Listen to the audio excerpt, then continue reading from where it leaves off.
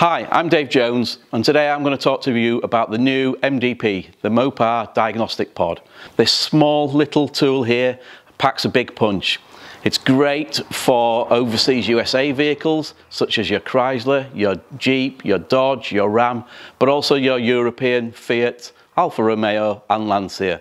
That's a lot of vehicle manufacturers in one small tiny tool. The MDP is capable of working on a cloud-based program, which means it's suitable not only for laptops, but also for tablets as well. So again, giving great versatility and flexibility. It does all of your standard diagnostics, your coding, your programming, nice, easy, simple to use dashboard and very, very easy to connect to your Wi-Fi network. It works all around the workshop with a simple Wi-Fi connectivity, no messy cables. Not only will this tool do your car vehicles, but it will also do your light commercials as well, such as your Fiat Ducatos, your motorhomes, your camper vans, that kind of vehicle as well. So it's a great additional tool to have. If you want to know more about this tool, then visit maverickdiagnostics.com.